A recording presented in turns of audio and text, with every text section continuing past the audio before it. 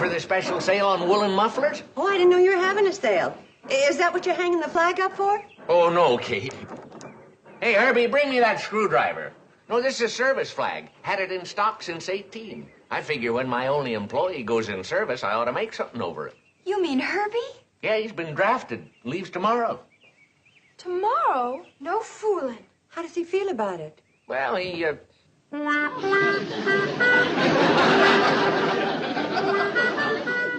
that answer your question?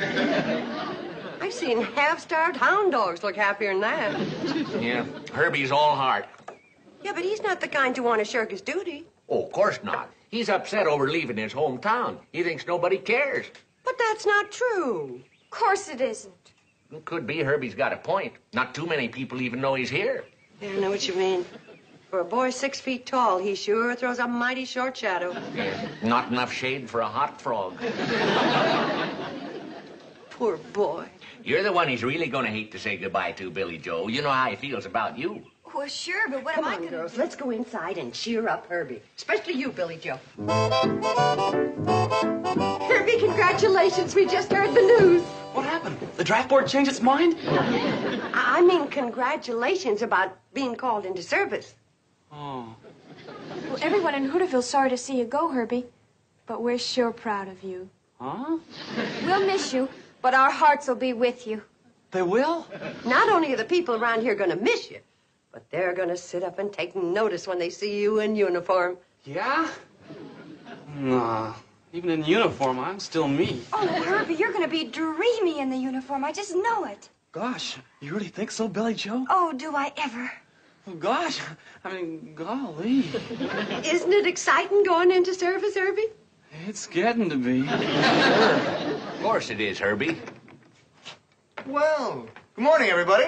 Oh, hi, Junior. Hello there, Billie Jo. Hi, Junior. Have you heard the good news? It's the biggest event since the opening of the store. You having a sale? Uh, yeah, on woolen mufflers. But listen to this. Herby's going into the service. Hey, that is a big event. I I could use a new muffler. You got any uh, red ones? Junior, the big event is Herby going into the service. Oh, come on. What's so big about Herby becoming a dog-faced private? Is that what I'm gonna be? A dog-faced private? Of course not.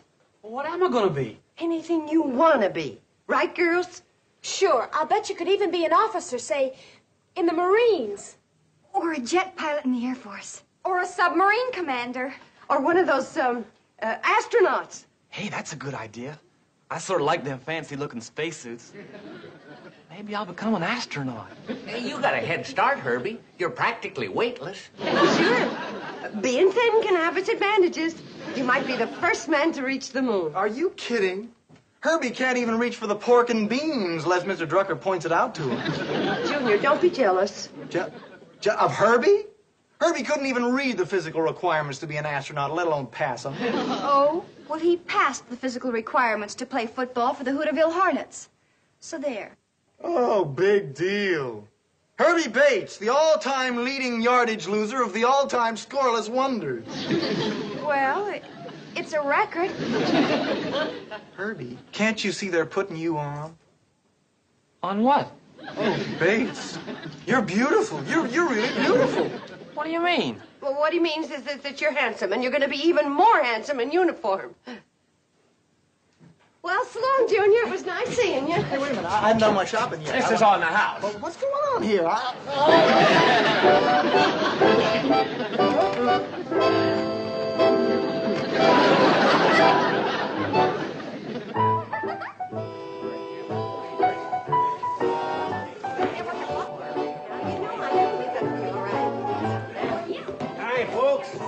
That star football player you got with you? Hi, Herby. Hi there, Coach. What are you doing here? Playing hooky from Drucker's store? He's the guest of honor at the party we're throwing for him tonight. Herby's going in the service tomorrow, Uncle Joe. I'm becoming an astronaut. Well, congrat. Oh, what? An astronaut, Uncle Joe. Herby? Stop joshing me. Joshing? I'm putting in with them missile flying fellas. With John Glenn going into politics, that leaves a place open for Herby. Come on, girls. Uh, Herby. Hey. Herby going to be an astronaut's laughable. ain't it? Mom doesn't think so. Or Billie, or Bobbie, or Mr. Drucker. Even Junior Hawker wasn't able to laugh about it. See, if he was to become an astronaut, he'd be the most famous person ever to come out of Hooterville, wouldn't he? No doubt about it. See, you know a shrewd manager could push him into politics after he gets out and make another John Glenn out of him. Uncle Joe. I might put my brain behind Herby. Give him something to fall back on. yes, sir, that boy's okay. He's a real comer. You-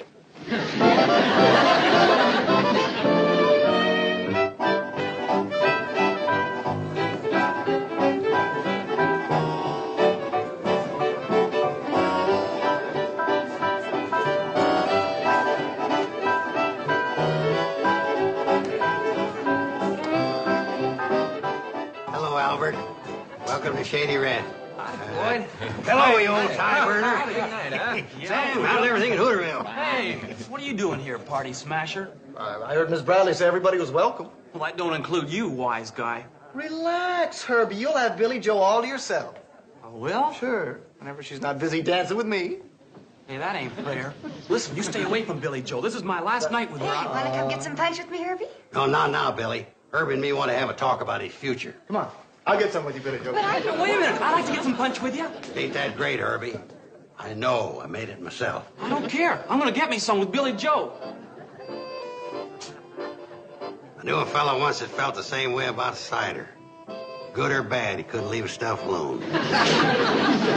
For a fact, for a fact, Billie Jo. Oh, Junior, that's cute. I don't think anything a slacker says is particular cute. Don't talk stupid, Bates. Junior's not a slacker, Herby.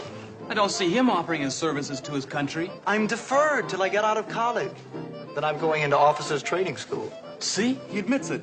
He's gonna stay home and become a policeman. I'm becoming an officer in the army, you dope. Oh, that kind. Boys, if we're going to argue, I'm going to have to break this up. Kirby, maybe you and I better go for a walk. Uh, no, no, we won't argue anymore. Oh, yes, we will. Now, let's walk.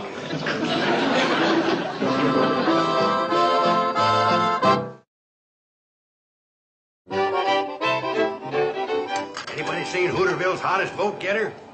Hooterville's who? You know, Mom. Uncle Joe's political protege, Herby Bates. He's the John Glenn of our town, otherwise known as Orbitin Herby Bates. Uncle Joe, why don't you stop bothering that boy? He'd like to spend a little time alone with Billie. Tonight's our only chance to map out his political career. It's also his only chance to say goodbye to Billie. He ain't got no time to waste on girls.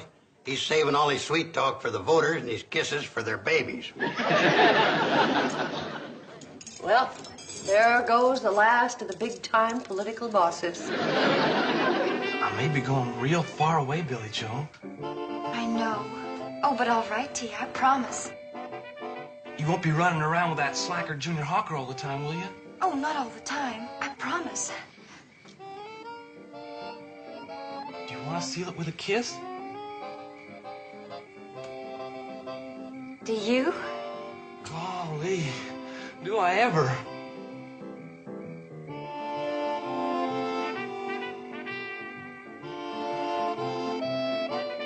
Hey, Herby.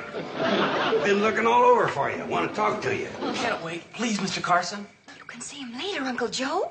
Nope, I gotta see him tonight. Uh, Billie Jo, why don't you go in and join the guests while Herby and me discuss his destiny?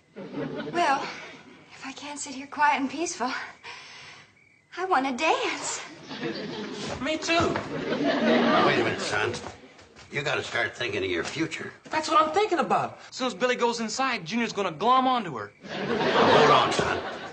If you want to get someplace with Billie, you ain't gonna do it dancing. Oh, you, you see me dance, huh? That's not what I mean. Relax and rock for a minute. I'll tell you how you can win over everybody in these parts, including Billie Jo. You mean it? It's a cinch.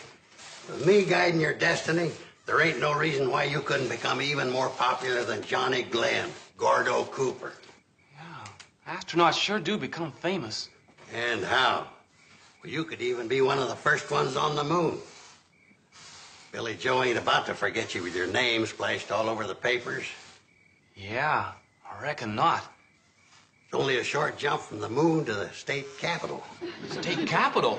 You come home a famous astronaut, pushing you right into politics. Politics. Yeah, Billie Jo cheering you onward and upward, just like everybody else. Junior Hawker would sure have to go some to beat that. Yeah, so would some of them other young punks traipsing around after Billie. Golly, Mr. Carson.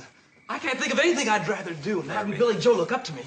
If becoming an astronaut is what it takes to make Billie Jo forget about everybody else, then that's what I'm gonna do. Boy, I'm gonna go down to... Mr. Carson?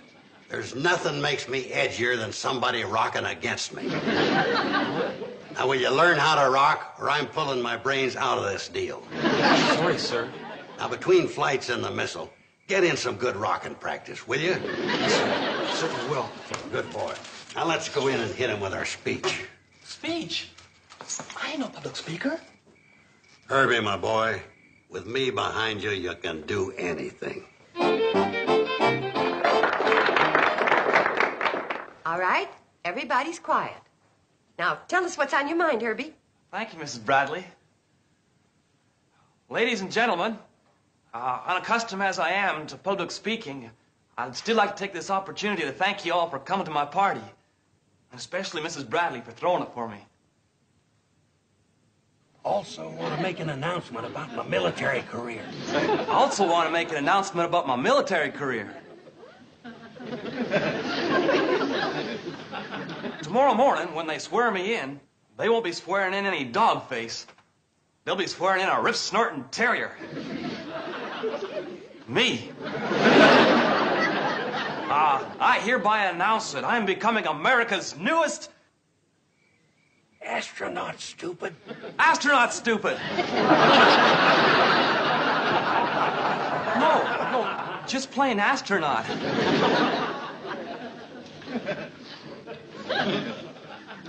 Uh, after a couple of trips around the moon and back uh, with my buddies like Johnny Glenn and Gordo Cooper, uh, I'm coming home and throwing my space helmet in the political ring.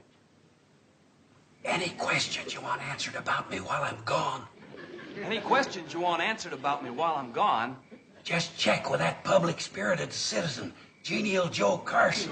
just check with that public spirited citizen, genial Joe Carson. I thank you. I thank you. Hello, Kate. Well, Genial Joe, you just helped that boy make a fool of himself. Kate, you keep proving over and over that women and politics don't mix. We never should have given you the vote. With you and Herby in politics, we may give it back.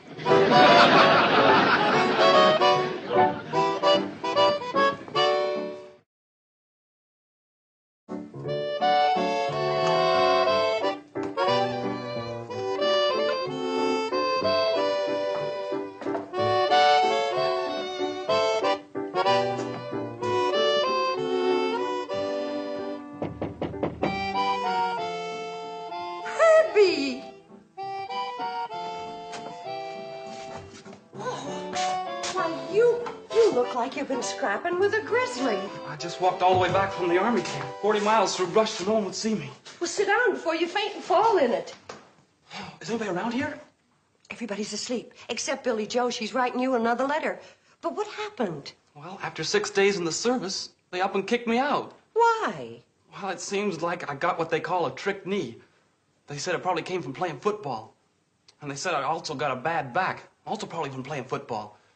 Anyway, after pretty near a week of tests and x-rays, they decided to give me a medical discharge. Oh, that's a shame, Herby. But you've always got your job at Drucker's to go back to. Oh, I ain't going back there, Mrs. Bradley. After me popping off the way I did before I left, I ain't ever going to be able to face anybody again. Especially Billie Jo. Boy, I sure made a fool of myself. With some strong assistance from Genial Joe. Will you hide me here till morning? Of course, Herby, but why? Then I'll disappear. I'll take off for some foreign place like the Casbah or Cleveland or somewhere. Now, stop talking silly. If you're bent on hiding, I'll stash you in the attic till we can figure out some way of bringing you back from the service proper like. then you won't tell Billie Jo what a flop I am? Oh, no, of course not. Come on, let's go up to the attic. It isn't very comfortable, but then I'm afraid you have no choice. You either have to be honest or uncomfortable. What a shame. Herby sure came a cropper, didn't he? Yeah. Poor boy's hiding up in my attic. But his spirits is down in the cellar. Too bad you had to sneak in here at night to tell me about it, Kate. Well, I wish I could think of some way to help you, but my mind's all full of newspaper business right now.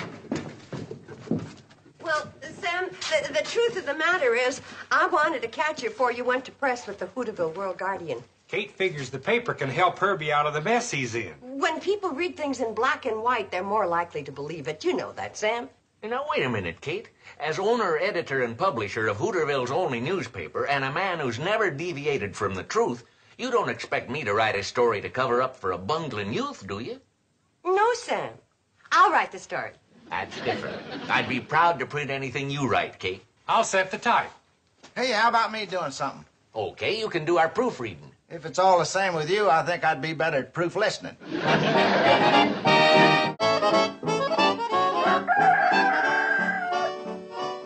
Yep, the strategy I got planned for Herby won't be long till he's way up there. Your strategy already has him way up there. Well, he ain't an astronaut yet. He's got to go through a period of training first. Earl, your mother's a fine woman, but her understanding of military service and politics is pathetic. Extra, extra. Read all about it. Local hero returns. Well, What's all the excitement, Charlie? Herby's coming home. No. Yeah, for a fact. Well, look, everybody. Our Herby returns. Herby Bates, the popular young Hooterville resident who recently applied for duty in the armed services as an astronaut, received a medical discharge and is returning to Hooterville. The cause of his injury is not disclosed due to the classified nature of his assignment.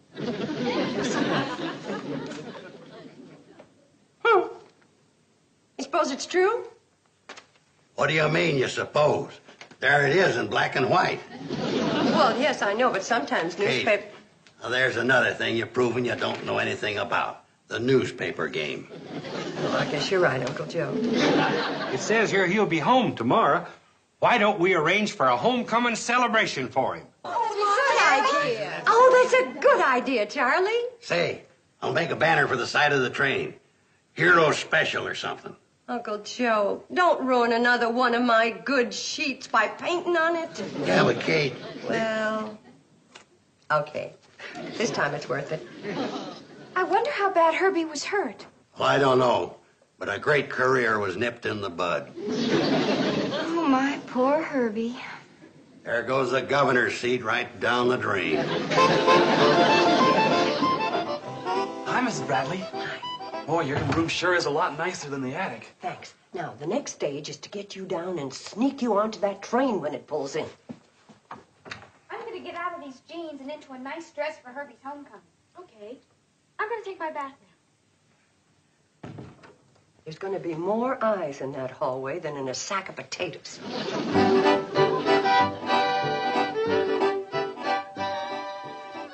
I gotta do something to you. What are you fixing on doing?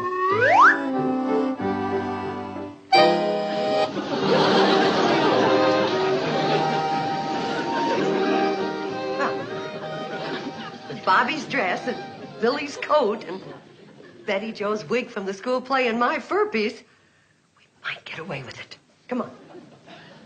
Oh, who's that? Herby, it's you. Hey, ain't a bad looker, huh? Come on, gorgeous.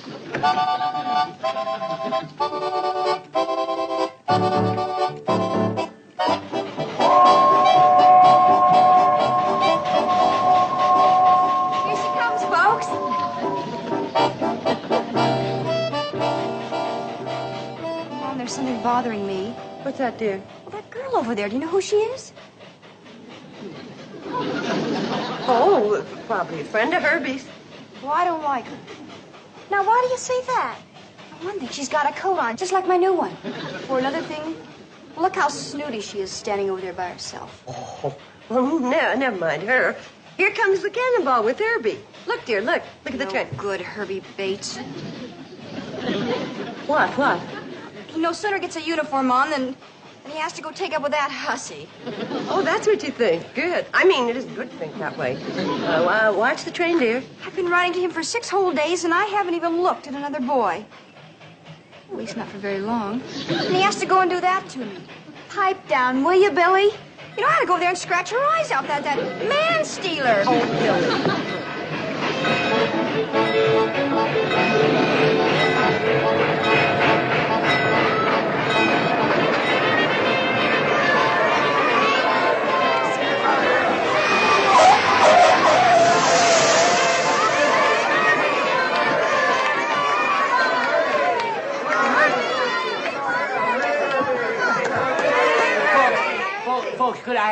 Attention, please?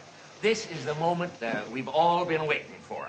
The triumphant return of our own Herby Bates. We take this opportunity to welcome him home from a short but distinguished career in the military service. Well,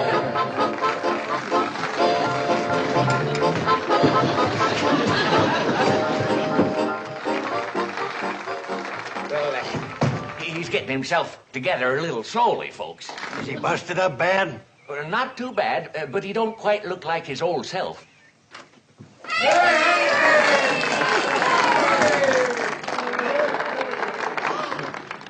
Look at his lips. There's lipstick all over him. Oh, that hussy, she sneaked on the train and she kissed him. Where is she? I'm going to kill her. For heaven's sakes, quiet down, Scarlett O'Hara. Thank you, folks.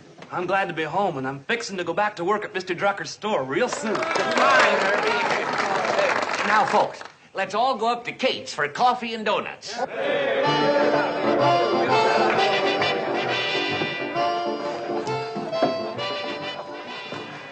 Oh, Herby, my wonderful darling Herby.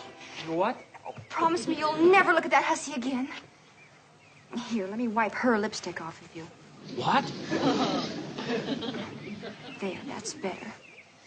Now, here's some of mine. Golly, Billie Jo. Oh, golly. That. Well, the nerve of that hussy. She even wears my shade of lipstick. Golly. Come on, I'm not letting you out of my sight.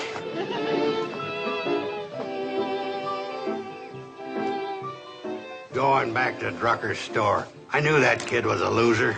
Doesn't look like one right now to me. Hey, Junior, you ever give any thought to using a military career as a springboard into politics? I'm not interested in politics, Mr. Carson. Kate, you're looking at a frustrated man with a great brain and no way of making it pay off. Yes, Uncle Jim. Stuck out here in the middle of nowhere with nothing but losers. Yes, Uncle Joe.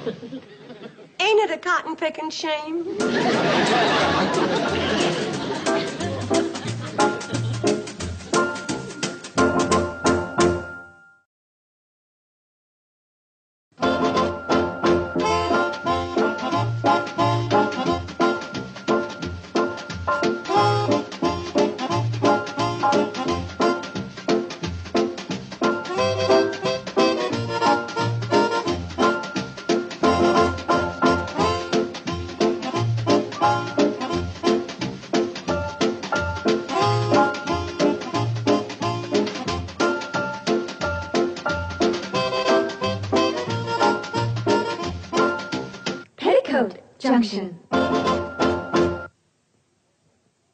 Been a Filmways presentation.